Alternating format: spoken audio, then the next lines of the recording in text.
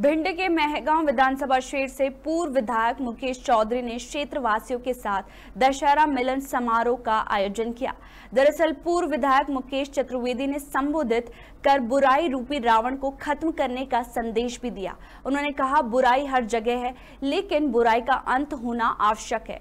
इस पूरे कार्यक्रम में मुकेश चौधरी के द्वारा बोले गए शब्दों का राजनीतिक गलियारे में विश्लेषक कई प्रकार के मायने निकाल रहे हैं चुनावी दौर में इसका क्या परिणाम निकलते हैं यह तो आने वाला वक्त ही बताएगा।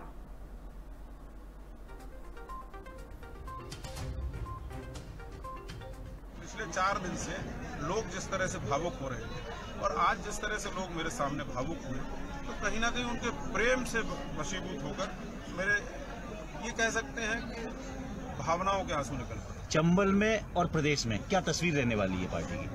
भारतीय जनता पार्टी प्रचंड बहुमत से जीतेगी। भारतीय जनता पार्टी प्रदेश में सरकार बनाएगी और चंबल में भी प्रचंड बहुमत से जीतेगी। चंबल के हमारे जो बड़े नेता हैं उनका बड़ा प्रभाव है। और निश्चित रूप से उनके प्रभाव से पार्टी जीतेगी। भिंड में कितनी सीटें भारतीय जनता मानते हैं? पार्टी के मध्य प्रदेश के प्रदेश अध्यक्ष हैं। पार्टी ने अभी आपको कोई जवाबदारी दी आप होम टाउन में ही काम करेंगे तो कहीं बाहर आपकी कोई जवाबदारी मैं भारतीय जनता पार्टी की ओर से मुझे सागर संभाग का दायित्व मिला हुआ है।